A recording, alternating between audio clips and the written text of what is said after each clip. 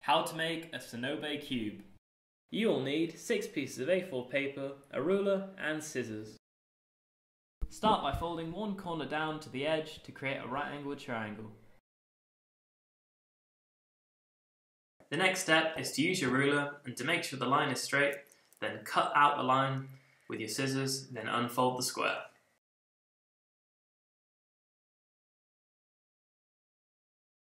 The next step is to fold your remaining square in half horizontally, then open up your square.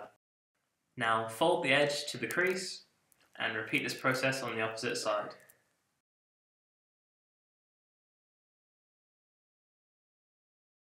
Now unfold one of the edges, then fold the opposite corner to the second crease to create a triangle, then rotate the paper and repeat this step. Now fold over both triangles to create the base of the shape, then flip over the piece of paper.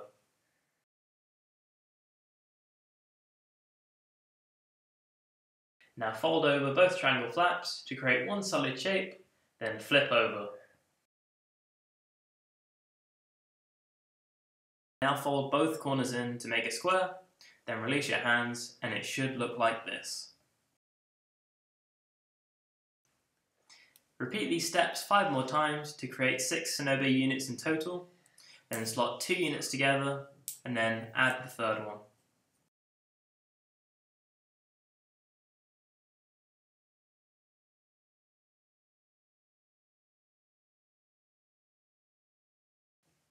Now slot in the fourth and fifth units to create this shape, and remember not to overlap the flaps.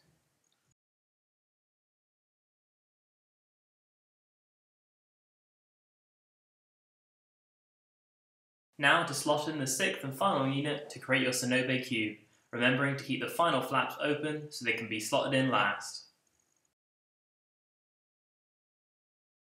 And there you have it, your Sonobe cube finished.